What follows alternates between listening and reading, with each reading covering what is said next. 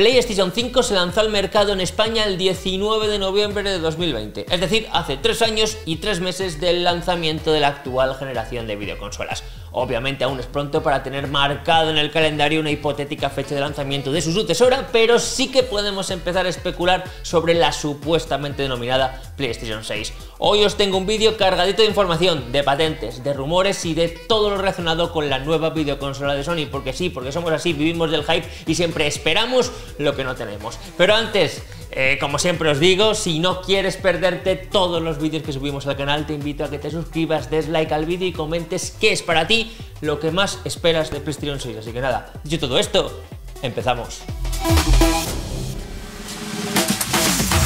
Desde PlayStation 1 las siguientes sucesoras de PlayStation han ido saliendo casi con bastante regularidad, podríamos decir. PlayStation 1 se lanzó en Europa el 29 de septiembre de 1995, Play 2 el 24 de noviembre del 2000, Play 3 en marzo de 2007, Play 4 en noviembre de 2013, así como PlayStation 5 también en noviembre, pero de 2020. Es decir, Sony ha lanzado nuevas generaciones de su consola aproximadamente de 6 a 7 años aunque esto evidentemente puede variar según las estrategias de mercado y desarrollo tecnológico de cada época, sí que podemos al menos asegurar una horquilla de tiempo de cara a cuándo podría lanzarse PlayStation 6. Basándonos en los intervalos históricos de lanzamiento entre las consolas PlayStation, es razonable especular que la PlayStation 6 podría lanzarse alrededor de 2026 o 2027. Si me preguntas a mí, creo que basta con fijarnos un poco en los plazos que están siguiendo Sony de cara a las revisiones de la máquina para más o menos acotar un poco más la fecha de lanzamiento final de la consola. Si en Play 4 la Play 4 Slim salió aproximadamente 3 años después del lanzamiento inicial de la PlayStation 4 original en Play 5 pasó exactamente lo mismo con la revisión de su consola que también salió 3 años después, es decir, Ambas revisiones salieron a mitad de la generación, por lo tanto es previsible que nos queden otros 3 años de Play 5 antes de dar el salto a PlayStation 6. Pero no es exactamente lo mismo, ¿vale? Actualmente en Play 5 tan solo tenemos una revisión de la consola, cuando a estas alturas en Play 4 ya tenemos dos, la Slim y la Pro. Según rumores, apuntan a que la PlayStation 5 Pro podría estar planeada para un lanzamiento de cara a finales de este mismo año. La información proviene de Tom Henderson, una fuente bastante fiable en lo referente a nuevos aparatos hardware de Sony, que ya dio la exclusiva de Precision Portal y también dio la revisión de la Play 5 con lector extraíble. Es decir, es una fuente confiable dentro de la industria y en base a esta información que maneja Tom Henderson podemos incluso suponer que Play 5 tendrá 3 años más de margen desde la Pro hasta la 6, porque históricamente ha sido así, se puede prever que en 2027 seguramente tengamos PlayStation 6. Aunque, eso sí, la única información oficial, entre muchas comillas, de la fecha de lanzamiento de Play 6 apunta a dentro de 4 años, es decir, a 2028. Y es que recientemente Hiroki Totoki, el nuevo presidente de Sony Interactive Entertainment, en el último informe financiero ha confirmado que PlayStation 5 está entrando en la última etapa de su ciclo de vida, lo que indica que podríamos estar ante los últimos 4 años de Play 5, ¿vale? Aparte de que en los documentos judiciales revisados durante el juicio de Microsoft y la FTT por la compra de Activision Blizzard por parte de Microsoft, revelan que Microsoft espera que la próxima generación de consolas, incluida obviamente PlayStation 6 se lance en 2028. Esta información proviene de documentos oficiales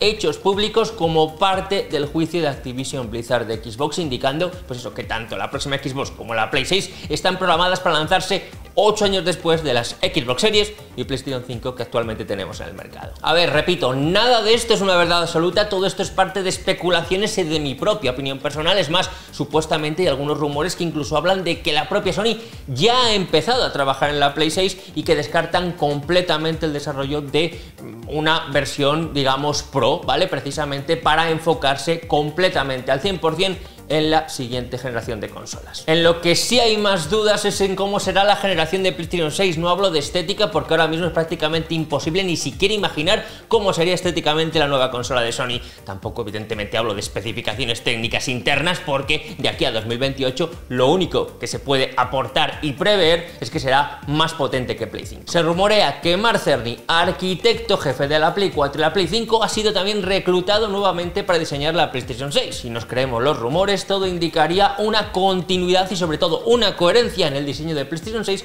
con respecto a las generaciones pasadas. Pero más allá de eso, entre las características más esperadas y obviamente más lógicas para la Play 6, obviamente podemos especular con lo obvio, es decir, integración con VR e incluso podemos hablar de realidad aumentada y si nos fijamos en patentes, pues recientemente se patentó una tecnología para mejorar el DualSense actual y dar más opciones ápticas como por ejemplo que el mando reaccione a la temperatura. Evidentemente la inteligencia artificial para entonces habrá mejorado bastante, incluso se podría implementar de forma nativa la consola de alguna manera que ahora mismo pues yo no me puedo imaginar. Y lo que más espera, por lo menos lo que más esperamos y más deseamos los usuarios de una PlayStation 6 y de cualquier consola actual es más tamaño, más capacidad de almacenamiento en los SSDs, ¿vale? Los juegos cada vez ocupan más y con una industria tendiendo cada vez más al formato digital y prescindiendo del formato físico debería ir de la mano de más capacidad de almacenamiento de la consola, ¿vale? Esto quiere decir que la próxima generación sea 100% digital, es decir, puede ser que PlayStation 6 solo tenga un modelo y sea digital.